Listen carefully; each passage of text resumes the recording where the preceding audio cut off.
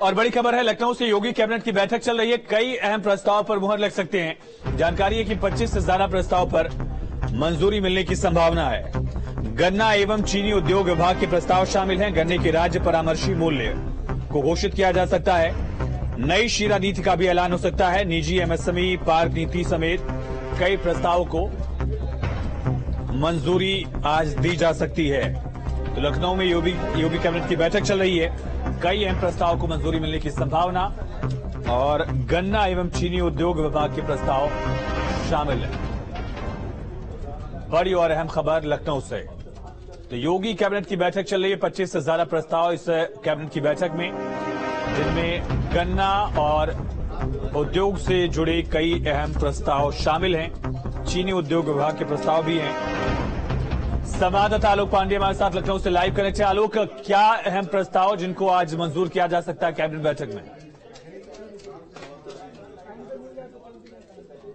देखिए, जैसा कि बताया जा रहा है कि 25 ऐसे अहम प्रस्ताव हैं जो इस कैबिनेट में रखे जाएँगे। और वो सभी प्रस्ताव इसलिए भी महत्वपूर्ण है कि ग्लोबल इन्वेस्टर समिट को लेकर के मुख्यमंत्री योगी आदित्यनाथ इस बारे में बहुत गंभीर हैं कि किसी भी तरीके से, किसी भी सेक्टर में अगर सेक्टोरियल इंडस्ट्री की बात की जाए तो उन सबको लेकर के कोई भी दिक्कत ना आए। इस बात के लिए वो कैबिनेट बुला रहे हैं और कैबिनेट पास कराते हैं उस प्रस्ताव को।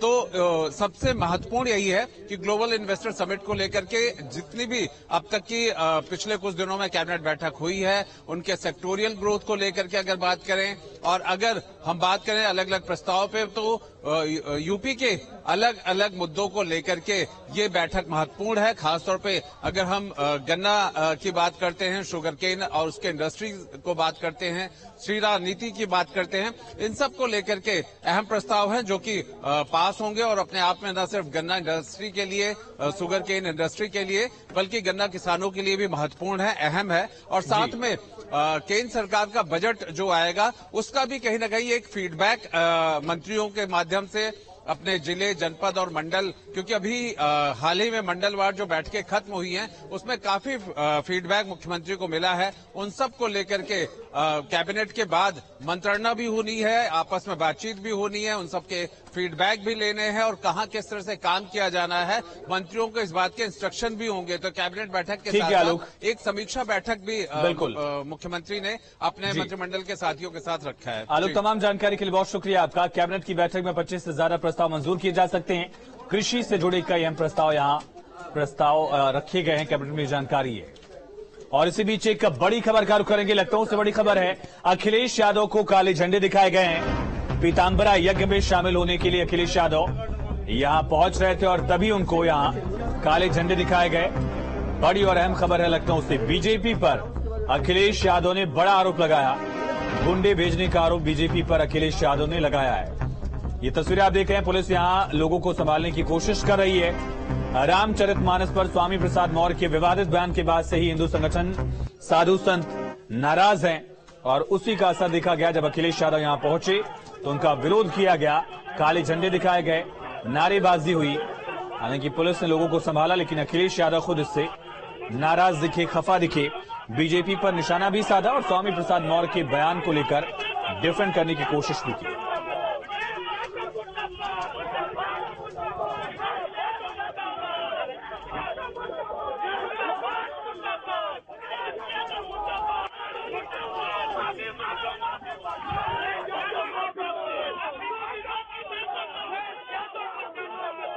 ठेकेदार कोई नहीं हो सकता। बीजेपी धर्म के ठेकेदार नहीं हो सकती। बीजेपी ने यहाँ गुंडे भेजे थे। और गुंडे ये भेजे थे जिससे मैं कार्यक्रम में न जा पाऊँ। और अभी भी गुंडे पीछे घूम रहे हैं। लेकिन हम समाजवादी लोग हैं, घबराने वाले नहीं है गुंडों से। अभी भी घूम रहे हैं गुंडे।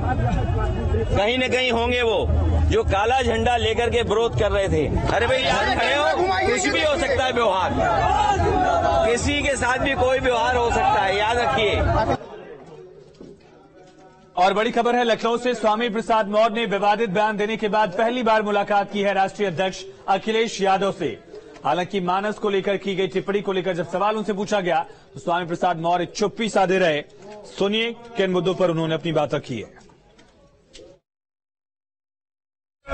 सामने देखिए सर। उचित अवसर पर वो अपनी बात पूरी तरीके से रखेंगे। आपकी बात हुई और जिस बारे में? इस समय स्वाभाविक रूप से सभी मुद्दों पर बात हुई है।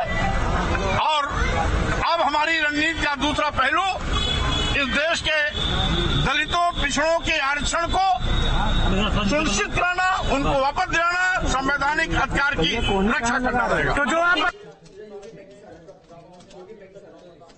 तो स्वामी प्रसाद मौर्य ने अपने बयान को लेकर कुछ नहीं कहा। आगे बढ़ते हैं। मुख्यमंत्री योगी आदित्यनाथ ने राजस्थान के जालौर में सनातन धर्म को राष्ट्रीय धर्म का ज़िक्र करते हुए यहाँ पर मुख्यमंत्री ने यह भी कहा कि राम मंदिर राष्ट्र मंदिर है। इस बयान को लेकर अब सियासत भी हो रही है। समाजवादी पार्टी ने सवाल उठाया है। वहीं साधु संतों ने इस बयान पर स्वागत किया।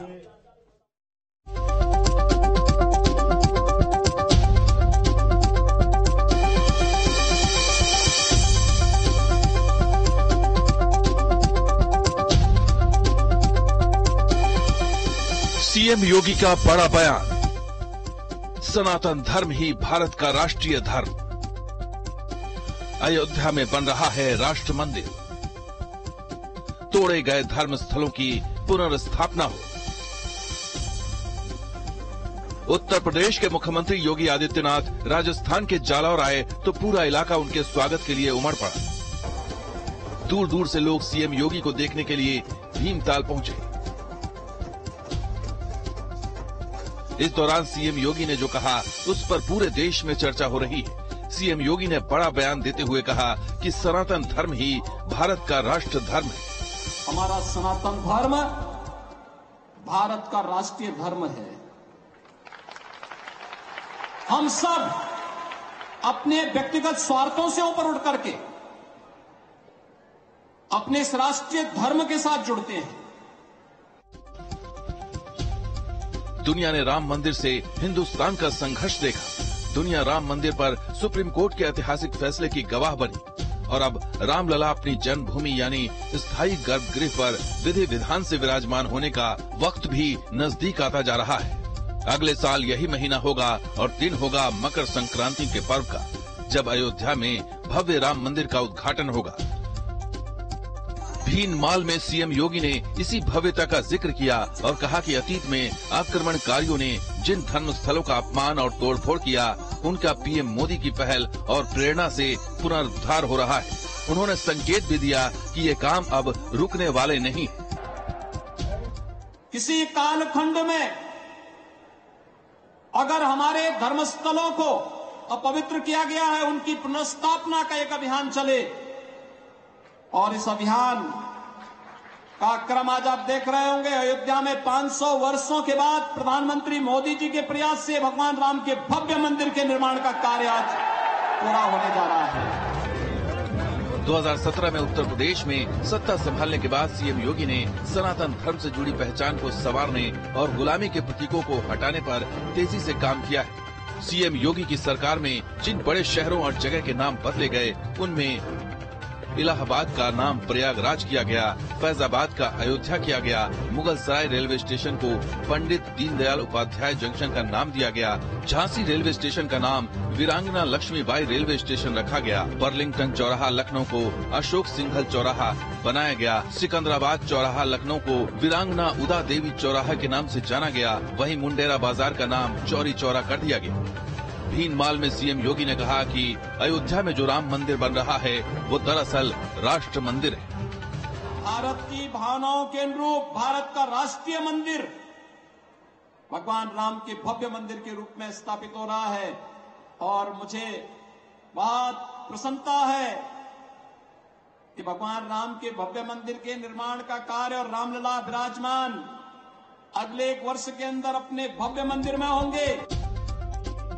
इस मौके पर सीएम योगी ने हिंदुओं को जात बिरादरी में बांटने वालों को भी राह दिखाई। उन्होंने भीनमाल में 1400 साल पुराने नीलकंठ महादेव मंदिर के जीर्णोद्धार और मूर्ति प्राण प्रतिष्ठा कार्यक्रम में आए लोगों की एकता का ज़िक्र किया और कहा कि सभी हिंदुओं को अपने दैनिक जीवन में एकता के इसी भाव को अपनाना चाहिए।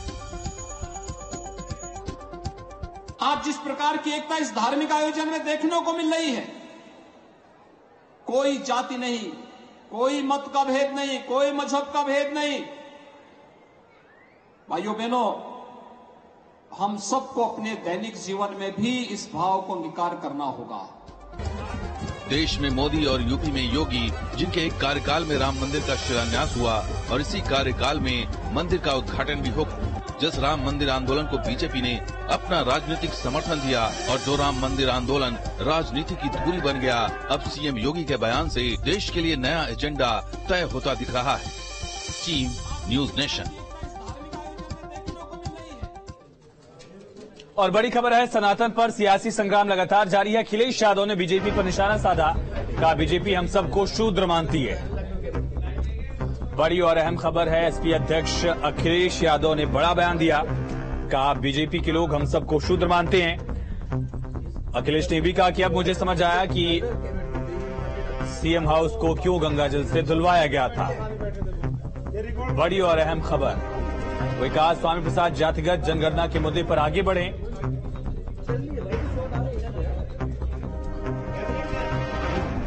को शूद्र, दलित को शूद्र मानते हैं। बीजेपी के लोग हम सबको शूद्र मानते हैं। उनको ये तकलीफ़ है कि हम उनके धार्मिक स्थान पे क्यों जा रहे हैं गुरु संत लोगों से आशीर्वाद लेने के लिए। भाजपा आई इन्होंने भेजा और कोई प्रशासन का पुलिस का अधिकारी नहीं था। रात में हटा दीजिए और जितनी पुलिस प्रशासन थी, सब रात में हटा दी। याद रखे बीजेपी के लोग। समय बदलता है समय बदलेगा तो उन्हें भी पता लग जाएगा कि इसी तरह की व्यवस्था उनके लिए होती है। सर ये कैसे सर सर ये कैसे स्वामी प्रसाद मौर्य जी को मैंने कहा है कि जाति जनगणना के आंदोलन में आगे बढ़ें। और सीधे आपको तस्वीर दिखाते हैं उत्तर प्रदेश की कैबिनेट बैठक चल रही है। मुख्यमंत्री योगी आदित्यनाथ की अध्यक्षता में कई अहम प्रस्ताव आज मंजूर किए जा सकते हैं। कैबिनेट की बैठक में सीएम योगी आदित्यनाथ केशव प्रसाद मौर्य सूर्य प्रताप शाही बैठक में मौजूद हैं। ब्रजेश पाठक और साथ ही वित्त मंत्री सुरेश खन्ना मौजूद हैं, बीबी रानी मौर्य। कैबिनेट मिनिस्टर्स की मौजूदगी में कैबिनेट की बैठक चल रही है। और अहम बैठक इस वजह से क्योंकि कृषि और चीनी उद्योग से जुड़े कई प्रस्ताव मंजूर किए जा सकते हैं। इसकी संभावना ज़ाहिर की गई है। तो लखनऊ में योगी कैबिनेट की बैठक चल रही है और कई अहम प्रस्ताव इन्वेस्टर समिट से जुड़े भी कुछ प्रस्ताव इस कैबिनेट बैठक में मंजूर किए जाएँगे। निजी एमएसएमईज को भी मदद दी जा सकती है। तो बड़ी और अहम खबर, तस्वीरें भी आप देख रहे हैं योगी कैबिनेट की बैठक की। सीएम योगी की अध्यक्षता में बैठक और उसके अलावा बीजेपी भी लगातार फीडबैक ले रही है। खबरें लगातार जारी हैं, बने रहिए न्यूज़ स्टेट के साथ।